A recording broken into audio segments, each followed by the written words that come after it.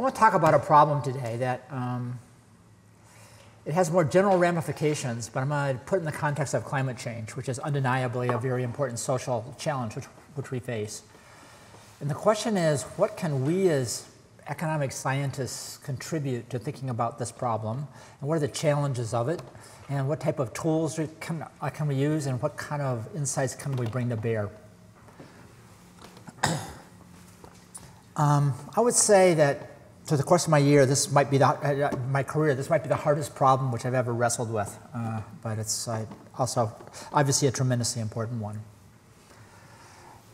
So, um, in general, confronting policy uncertainty, there is a tension, and we kind of feel this, you kind of see this tension all the time. There, there are many phenomena, economics and elsewhere, which we have a limited understanding by, by, by, which, by which policies operate. In the case of economics, by the way, policy influences economic outcomes. On the other hand, there's a public, there's, uh, uh, there's political leaders, there's governmental policymakers. They want answers. And there's a danger that they're going to go to people who provide the answers, even when the answers aren't well grounded. And that's, and, and that's the huge tension. How can we credibly be, be true to our knowledge base and at the same time produce calculations, computations, insights that are valuable in economic policy and, and that they will take seriously? Um, there's this um, story that I heard from one of my collaborators. It was about a president, Lyndon Johnson, was probably president before you were born. I was alive then. Anyway. so, uh, so Lyndon Johnson was, uh, he came out of Texas, and he was a cattle rancher uh, before he became a politician, okay? and, and, and subsequently president and, and, and he had economic advisors, and the economic advisors were like, he asked for advice, and they would say, they'd start hedging their answers a little bit. Well, we kind of think this, but we're not 100% sure, blah, blah, blah. And he turned to them, them impatiently and said, Ranges are for cows, give me the number. And that's kind of the thing you're fighting against, in the sense that policymakers want the number. They don't want, like, you know, any hedges and stuff like that. And, and, uh, but on the other hand, how much knowledge do we really have on these issues? and how do we wrestle, bring these, you know, how do we tr- put these things the, uh, together? And so I've got examples. There's monetary policy, which we could talk about. That was Milton Friedman, uh, long time ago, coined this uh, uh, phrase called long and variable lags because we didn't fully understand the monetary transmission mechanism. If, if, if, you look at financial market oversight, so obviously the financial crisis put on the radar screen a lot of important questions. We had to rush to a bunch of answers. Uh, I mean, rush to policy um, responses, but uh, those, but, but, but our fundamental understanding of, of the phenomenon was, uh, was somewhat limited. And today I want to talk about climate change, which, which I believe the same is true for. So um, here's what haunts me sometimes. Hayek, who is on the Committee of Social Thought here at the University of Chicago, uh, among other places. Um, uh, it's an interesting story about Hayek.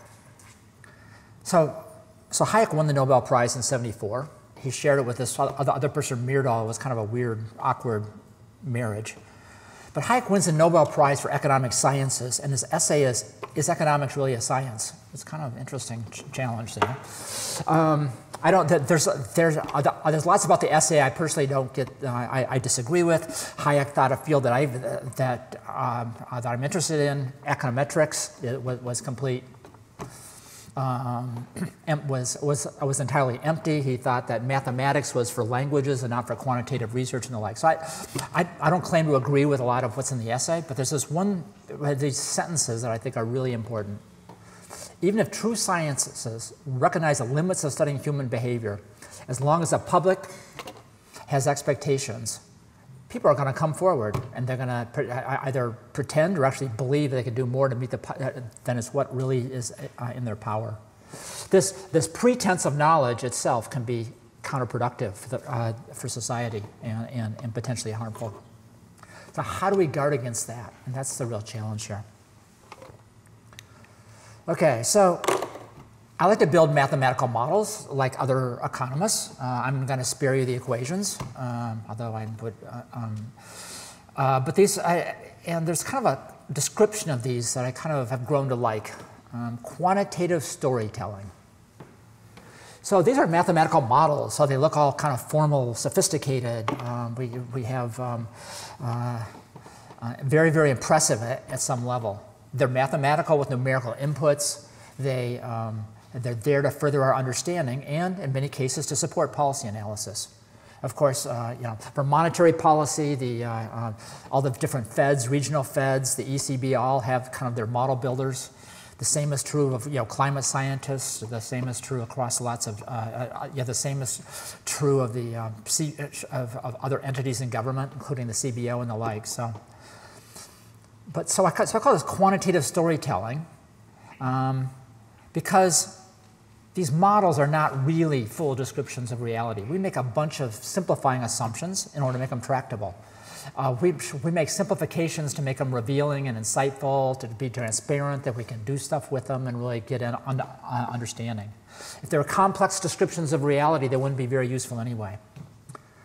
But they are simplifications. What are their ingredients? Substantive knowledge.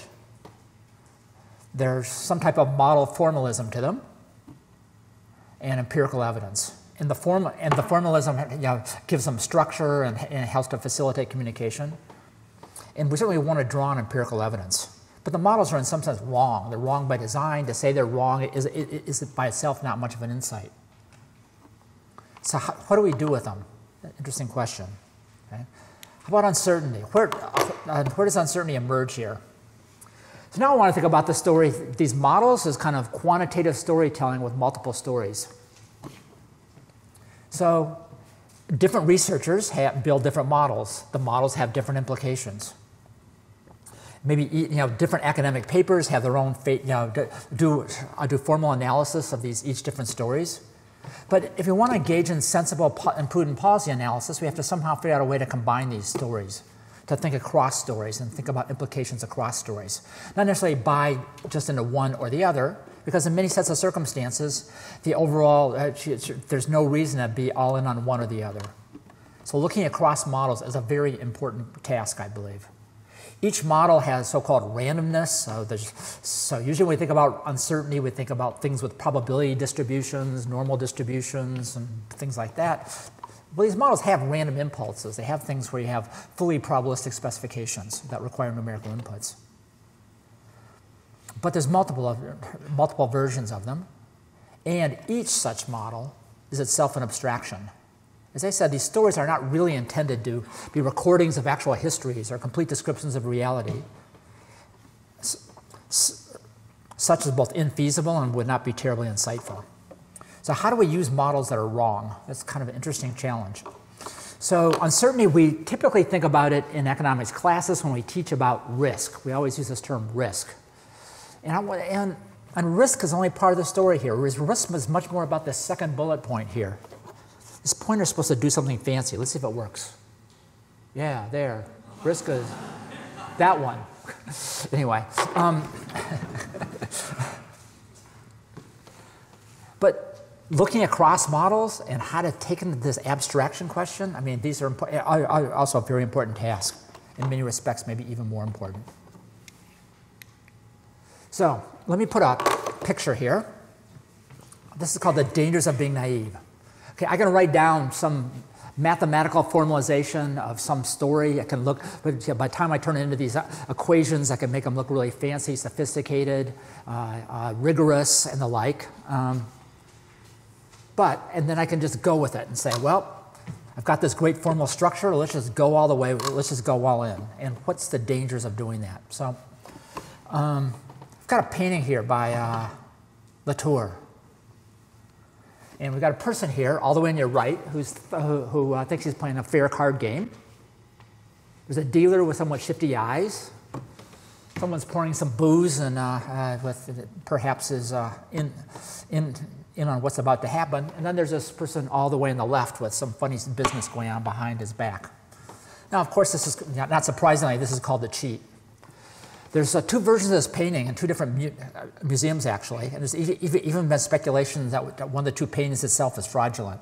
They're, they're slightly different. But, but um, the reason I'm putting this on here is we, we can use models go all in with them, like the person on the right is thinking that, that, that, he's playing a fair part card game and maybe using informal probabilistic calculations to assess the quality of the hand.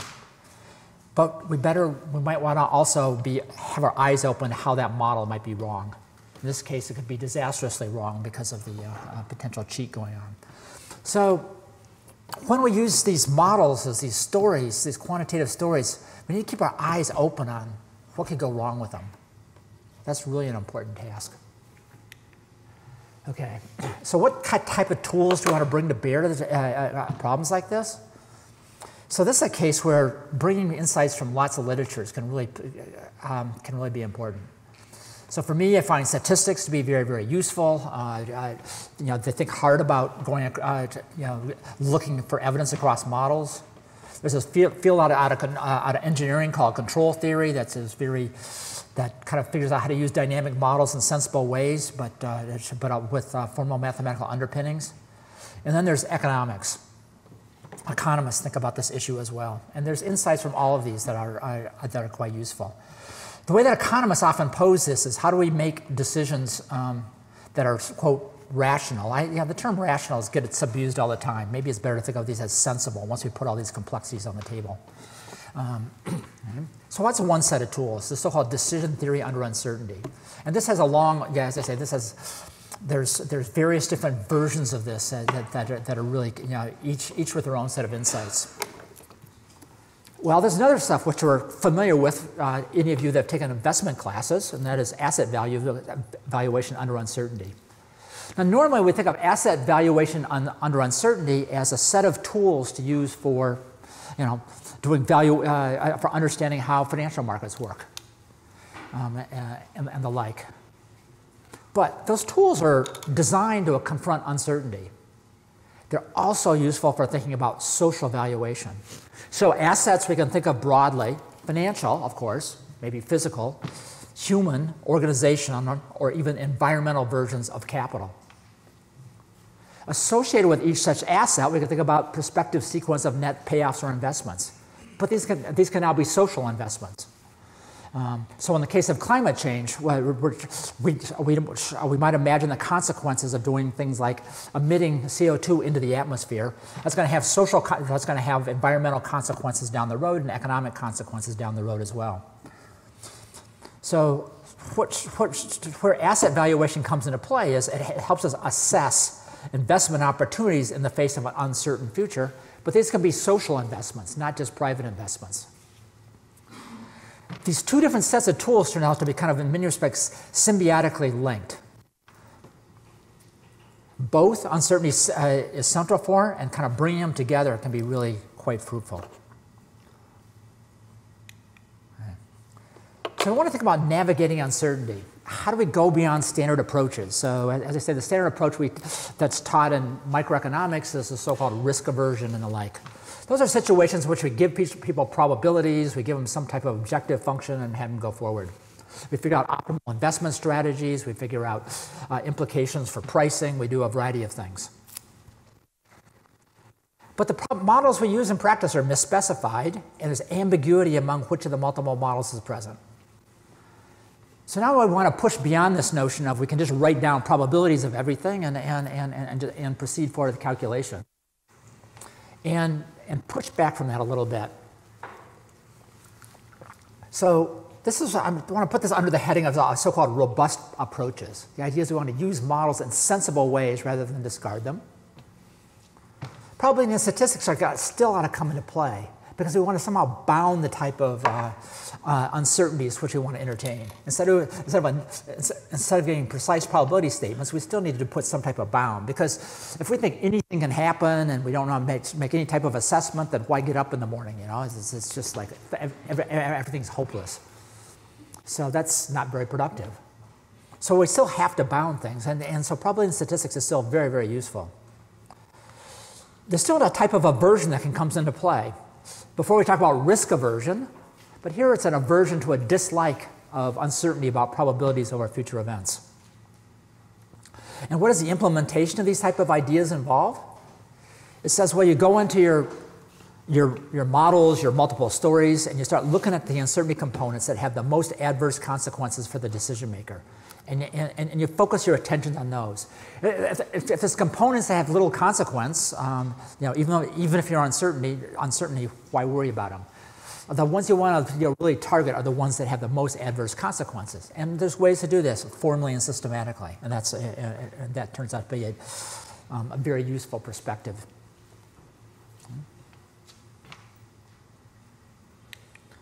Okay, uncertainty, climate change, and economic valuation.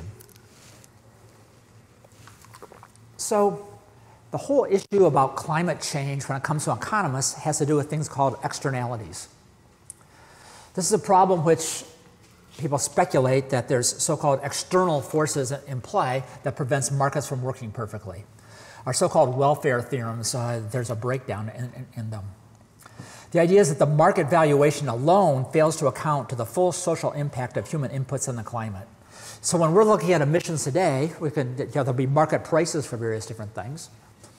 But maybe the social price should be different than the market price just because of uh, uh, the market itself is failing to take into account the, um, external, the external effect that the collective human action has on the environment. And the whole issue then is how big is that and how to address it. Uncertainty can have a big impact on the measurement of what's called the social cost of carbon. Now, what is the social cost of carbon?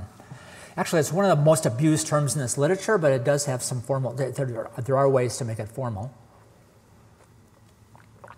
Um, the simplest way to think about it for our purposes today is the following. Suppose that I figure out um, what is the uh, most efficient level of, uh, of, economic activity, including emissions, as it impacts the uh, uh as it impacts the environment. And this, and, and this is a social calculation. Now, from that social calculation, I can go through, I, can go through and start looking at what's the kind of margin rate of substitution between things like emissions and other consumption goods and the like. I can start figuring out prices. I do the same type of price calculations as I see in microeconomics, but I'm doing it you know, uh, in, in, in, in conjunction with social valuation. This is, a, and this is what people typically call a, a, a um, this is a notion of a social cost of carbon. Now, this can be translated into a, a tax policy, and there's a, the so-called Pigou is famous for uh, coming up with a way to tax these externalities from a long time ago. Now, we can, there's lots of complicated issues about how one can implement a tax on, on, on carbon emissions.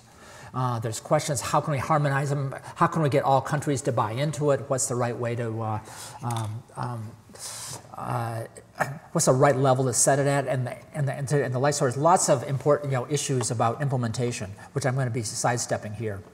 I, but I am going to use this construct of a social cost of carbon in order to show you how uncertainty can really matter in terms of figuring out its, its value. You know, the social cost of carbon numbers used to be posted routinely on the EPA web pages um, with the previous administration that had a little bit more tolerance for science. Um, unfortunately, those numbers, if you kind of open the black box of them, for a, a, a, there, there's a lot of kind of uh, pretty arbitrary stuff going into them. So it, to me, there's a, big concern there about a, kind of projection of um, ex, um, excess knowledge relative to what we really um, relative to our full understanding of things. Okay. So, so I think it's good to kind of open up that black box going forward. Now, what's going to happen in this problem is there's going to be two inter interacting sources of uncertainty that are really important here. One is we're doing emissions of CO2 today. That's going to affect the environment in the future. Right? It's going to affect so-called, you know, perhaps we can think of temperature as some type of uh, summary statistic, although it's going to ha have other environmental effects today. But those impacts are going to play out over time, over, over, over horizons, and potentially very, very long horizons. So, so in order to understand that type of uncertainty, we have to, you know, this is where geophysics comes into play. It helps us think about that mapping from CO2 emissions to temperature changes in the future. And so that's one source of this uncertainty, broadly speaking. Now, once you change the temperature in the future, that's going to affect economic opportunities in the future. Economists sometimes refer to this as damages. Okay? Well, so how do we really assess once we change the temperature what impacts that's going to have in terms of our economic op opportunities and social well being? That also has uncertainty, maybe arguably even more uncertainty attached to it. Why? Because we have to think through, we have to make, you have to make speculations about technological progress in the future, you have to make speculations about adaptation, and, and a variety of things come into play there. So there's, you know, there's, there's two sources, sources, of, sources of uncertainty here. And a point I want to make here that's really important for, uh, for this problem is that we can't just think of these as adding them together. I take the amount from here and the amount here, just sum them up, and that's the uncertainty for this problem. These are interacting.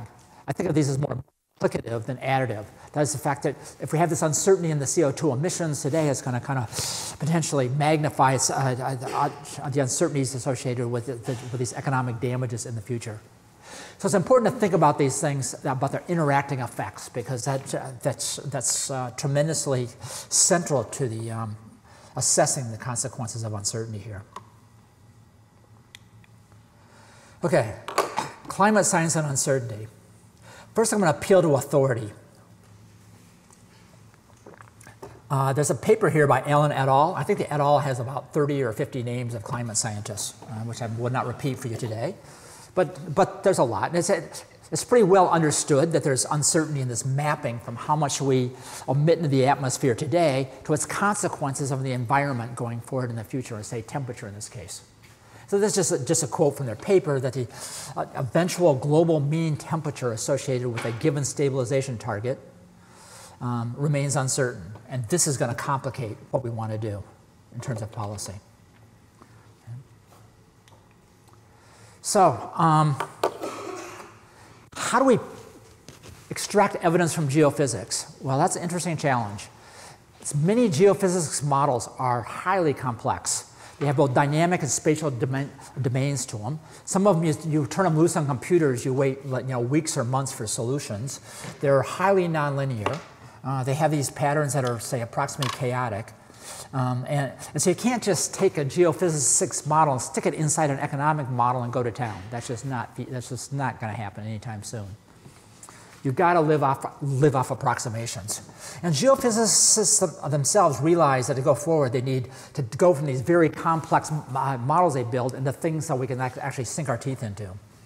And there's this line of research by Matthews et al. that does that, that's, that, that's all about approximation. And I'm going to give you the simplest version of this approximation for, for purposes of today's conversation.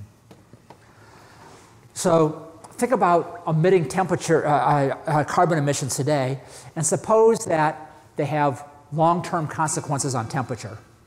So some carbon emitted today is going to impact temperature not only tomorrow but over all future time periods. This is, a, of course, this is a big simplification. For an economist, uh, now here's where geophysics and economics is very different.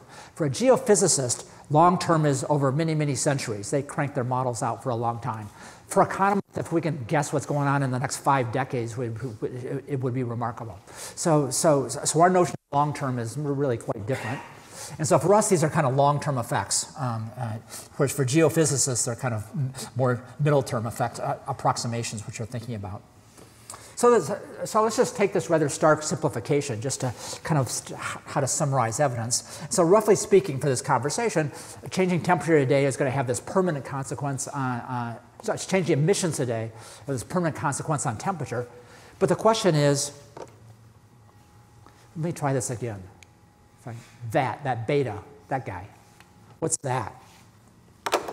So what, what Matthews and other people have done is taken this approximation and start looking across these different climate models, simulate from, take simulations from these very complex climate models, record, roughly speaking, what the temperature change is over a long time horizon uh, to, uh, to changes in emissions. So they try, uh, they try to get us kind of um, numbers for that beta there coming off of different models. So that's where we can start talking about model comparisons, going across a whole bunch of geophysics models now. Okay? So here's a paper that came out in 2017. It takes this climate sensitivity parameter, how much does temperature respond to emissions, and just tabulates them across a bunch of model simulations, going across models and going across certain type of, uh, of unknown, unknown initial conditions. And the key thing here is the blue line is actually, uh, is, is, actually the histogram across the model. I, I, I, just superimpose a normal density here on top of it to make it a, a smooth counterpart. Because in our computations, that's a little bit simple for us to use that. But the key thing here is we don't know with very much precision um, what the impact is going to be on the environment going forward over many, over, over many time periods. It could be substantial, you know, it could be in this kind of 2.5 to 3 range, or it could be relatively modest. We may have lots of confidence that there is a human input uh, imprint on the environment, but once you start translating this into quantitative magnitudes, which is if you want to do quantitative policy analysis, this becomes an important, this, uh, this becomes an important calculation. So one possibility, and this is what's done in a fair number of studies, is, is, is, to take that histogram, find the midpoint, and just go with that. But we want to do something else. We, we really, really want to acknowledge the uncertainty and, and, and, and look at its consequences. Okay, so that's part of the story. Now, there's been a lot of discussion recently about what's called carbon budgeting. It's meant to simplify the whole policy discussion. It says, you know, economists can debate about damages and adaptation and stuff like that, but, but if we make the uh, world two degrees warmer, it's going to be fried and useless to us. So let's just impose a constraint, uh, a constraint on carbon emissions in order, in order to ensure that we're not going to hit this, uh, uh, uh, this two period, uh, sorry, this two degree change. Right? And so that's like a carbon budgeting. And now if I take carbon budgeting in conjunction to that thing I call the Matthews approximation, it's like saying that I'm going to impose a restriction on the amount of uh, stuff I can emit overall over now and all future time periods. It's like imposing a constraint on that. And so if I actually knew what that beta was, uh, I, would, I, would be right back into a very, very famous model from economics by Harold Hotelling about exhaustible resources. I, I would just say, well, here's this finite stock of resources that, that, that, that I can deplete, and what's the most uh, socially efficient way to deplete it? And Hotelling wrote a beautiful paper on exactly addressing that problem. So we can be very, very close to you know, appealing to earlier economic insights. However, we don't know beta. If we knew, the uncertainty about beta kind of uh, makes that simplicity, you know, pulls that simplicity off the table. Right? But of course, carbon budgeting is a very extreme form. Economists prefer to think about there being some type of trade off going forward in terms of damages. And, and the calculations I'm going to show you in a few minutes uh, don't, don't go all the way to this extreme. But you know, they could be extended to this, uh, but, but, but that's going to be an implicit statement of what we believe about damages in order, in order to get to the carbon budgeting. But there's lots of discussion these days about carbon budgeting as the uh, framework for thinking about policy. But even with carbon budgeting, there's a key source of uncertainty. That beta parameter uncertainty is still important, is, is, truly central. So we want to go beyond carbon budgeting, follow some of the economics literature on this. Um, and for this, we have to model something that economists call, that economists call damages. Now, damages right now is not something that is derived from, from very deep principles. There's, it, um, it's fairly ad hoc modeling shortcut. And down the road, hopefully, we can do much better in our way of treating this. Um, there's, um, and then we're going to incorporate damages in order to measure this social, uh, in order to figure out the social cost of climate change. We need to know the damage aspect of it. And here, uh, uncertainty comes into play as well.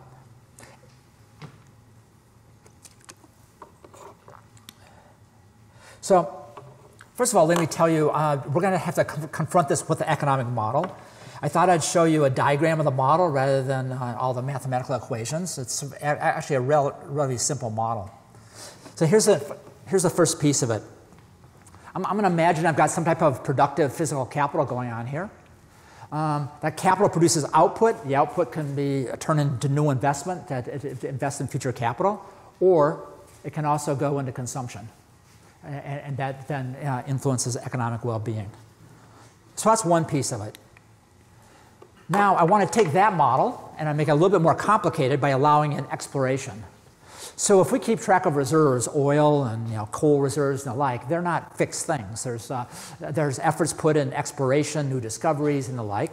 So, so, so we're going to take part of this output of this technology and, and make, it invest, make an investment in terms of enhancing the stock of reserves. So that's going to show up there as well. And then for a stock of reserves, we're going to draw down emissions. That's, that's going to also affect economic well-being. So it's, like these two sources of, of well-being here, emissions and consumption, and then there's this uh, production going on here. So, so, this is a very simplified model, uh, but, but one to uh, get us off the ground. Okay. Now, so far there's no climate externality here. I, I can turn this model loose, uh, and this would be a model which the so-called invisible hand would work fine. Markets would do their thing, and, you, and, and we would get good social outcomes. It's ignoring the fact that emissions damage the climate. Okay. So now we can stick that in there. One way to do it is from reserves, these emissions not only, yeah, I, I might like to um, drive my car and you know, emit gas, uh, and, and, that's part of my consumption. But at the same time, I could be damaging the climate. And that's this uh, line going from reserves to, to uh, the red climate arrow. And when I change the climate, that might reduce the uh, productive capacity of the economy going forward. This alternative way to do this is I can um, instead imagine that um, I, I've got, it's, it's going to directly, affect, if I damage the environment, it's going to directly affect the economic well-being. And, and, and, for some purposes, these are almost equivalent, uh, but, there's, uh, but, but these are two different channels one can think about proceeding. So the externality comes into place once I stick that red circle there. Because at the same time, I'm, I have these emissions going into you know, uh, consumption, I'm also damaging the climate.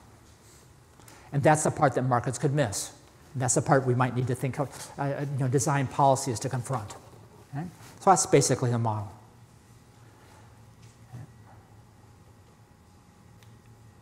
Okay, now damages. So here, here our, our economic thinking right now is, is, is kind of relatively crude.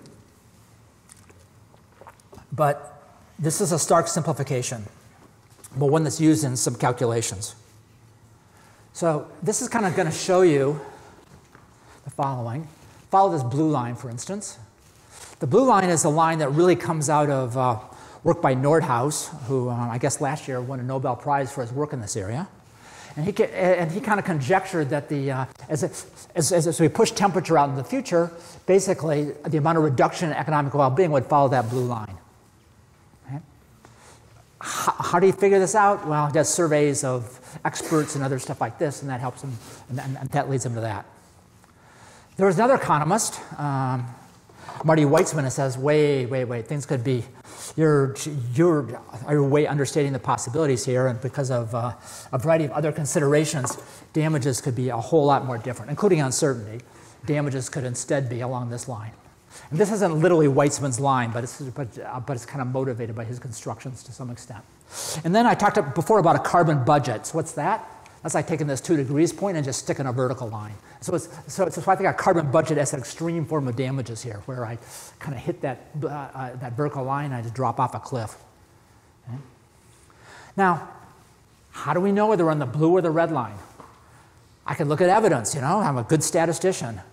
Well, we don't have a whole lot of historical experience about this. So that's, this is not something I can just go, you know, run, you know, turn this loose on, an empiricist. Now, you know, one could look a little bit of like cross-region evidence and make certain type of guesses about this, but that's, but that's tough to get do. So, the, so, you know, we may live in a data-rich environment, but the data doesn't help, that data richness doesn't help us very much on this one. So that's, that's so this just kind of illustrate a range of uncertainty coming out of this literature. Okay. Now, how does this going to work? So now, um, I'm, I'm, I'm going to take that economic model. It's got, I'm going to take into account all the kind of climate pieces. Um, I'm going to take into account both sources of uncertainty here. Part coming from the geophysics, that beta coefficient, and part coming from the economic uncertainty, the damages and then, and then I'm going to put them together. I'm going to analyze this model. It turns out that the social cost of carbon I talked about, I can represent that just like I represent an asset price, like a present value uh, on the relationship for an asset price. It's got, a, it's, it's got an asset pricing rep representation for it. Um, And so, and so there's the social cash flow that has to do with these economic damages as they play out over time. There's uncertainty there. And then, and then we have to evaluation of that uncertainty. In the environmental economics literature, there's all these arguments. What is the discount factor? Um, many of them are not the most coherent arguments, but if you know from an investments class, you can't really ask that, answer that question without asking what uncertainty are you really exposed to. And, and, and, and you know, risk return trade offs require understanding the exposures. And here we want to think about uncertainty more broadly, these uncertainty trade offs. So we have to, uh, that's going to affect the valuation. How exposed, in what way is it exposed to that uncertainty changes the valuation. So instead of there being this kind of uh, simple discount rate, the way we're going to do these valuation adjustments is we're going to produce a adjusted probability measure. And that adjusted probability measure is kind of what comes out of solving our model and, and kind of figuring out you know, which pieces are the most concerned for the decision maker. And they're going to produce these new probabilities that, that, that encode in them uncertainty adjustments. So that's going to be kind of a mathematical tool. It's a, it's, it's a, mathematical trick, very much like the trick that's used in pricing derivative claims in, in, in, in, in, in the field of finance. But here, as I say, it's applied to social valuation. So kind of the way this is going to work is that uh, the, uh, this type of adjustment over, over 50 years is going to be fairly modest, and over 100 years is going to be much more substantial. So what's going to happen is think of this as that climate sensitivity parameter before I told before I, or, or that normal density approximation to it. Right? And then I'm going to make this conservative adjustment here. I'm going to say, well, it, that might not be right uh, because of various forms of uncertainty. So I'm going to treat it as if it was this red line. It's not that I think it's a red line. I'm just making that as an adjustment in, in order to implement a little bit of extra caution because I don't know for sure that uh, I, I, how to weight these alternative climate models. If I play this out to 100 years, then the adjustment gets much bigger. Off of 100 years, we're now in ranges under which damages are potentially a much an even more spectacular thing, and, and, and, th- and this becomes substantial. Right? So these are like calculations done for, for uh, to try to sort out what the efficient, uh, what the efficient um, socially efficient strategies are. This is just kind of uh, a core piece of things. Now, I'm doing this off of, these are kind of prices off of the socially efficient allocation, taking into account the externality. If I'd not taken into, uh, into, the, into account the climate externality, these things would have been very, very dramatic. You know, by, yeah, by year 50, we, we, we would have uh, fried the planet. So these would have been spectacular at that point. So these are like inputs, but these, but, but, this, but these are key inputs in terms of the calculations. So now I'm going to do the social, social cost of carbon. This model has, like I talked about, this kind of Hotelling flavor to it in the sense of um, damages. As I, as, as I, start emitting more and more carbon, uh, I'm getting more and more in those severe damage range. As a consequence, the so called social cost of carbon is going to increase uh, out, out of that model from uh, from numbers today to much more substantial ones as they play out over 100 years. So this, I, you know, I'm referring to this as total because under you know, some of our calculations, that piece of it's coming from uncertainty. So if I'd ignored the uncertainty, which many studies like to do, I would have netted this red line out completely and just shifted the whole thing downwards. Now, now, I'm not here to tell you I know exactly how, how cautious society should be in, play, um, in face of uncertainty. I'm just here to show you it can matter, and there's a set of mathematical tools that allow us to assess how much it matters. And this is an illustration of that. And, and it can have very, very big impacts in terms of these social calculations. Just as you know, risk adjustments you see in uh, capital markets classes can have big, can have big effects sometimes. Right? Now look, let's, uh, let's look at the emissions trajectory. So, so, so suppose that me, as a, as a policymaker, I say, well, maybe I don't know stuff, but who cares? I look at the emissions comparison for that scenario, and I just go straight down that red line. Now I say, well, I'm not really sure what, the, uh, uh, what that beta parameter is. I'm not really sure which of those damage specifications is the correct one. And, this, and that's, um, that's going to push me down the blue line. Now, one thing I left out here, let me try to fill it in now. I should have had a picture to illustrate this. You know, remember those two different damage functions I had? Let's see if I pull this back quickly. Sorry. Should have left this out. Yeah, here. So we start off weighting across these two damages specifications 50 50, and then to make this cautious adjustment, well, if, uh, if, if, it's, uh, you're shifted, uh, uh the ambiguity adjusted pro probabilities shift you more towards the ham uh, more towards the high damage range. Not because you believe that, but because, because that's a cautious thing to be doing. So anyway, this is a set of tools that allow us to think about mapping these uncertain inputs into social calculations. And that's the thing I really want to be selling here. So that's the neutrality. And so, so when there's aversion, then we have a much more cautious trajectory for the, uh, um, for the emissions. Now, these, uh, these emission scenarios are, decline, are declining here in part because I haven't stuck on the table here some future technological progress that's going to help solve all these environmental problems.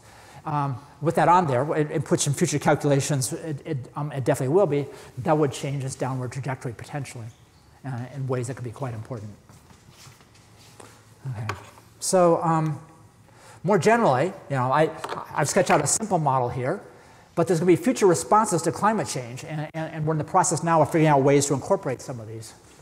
You know, there's going to be energy transitions, or be, that's part of adaptation in uh, uh, uh industry transitions. Um, the, you know, policy changes, adaptation, and the like. Integrating these things is, is certainly what we want to be doing, and I think it's very, very important. Every time we introduce one of these new channels, though, new sources of uncertainty come into play. And they're going to interact in potentially subtle ways with the other components as well. So yes, it's absolutely important that we enrich this, uh, uh, this type of framework, but uncertainty is not going to is not going to magically disappear on us. Um, I'm getting messages that I've almost talked too long.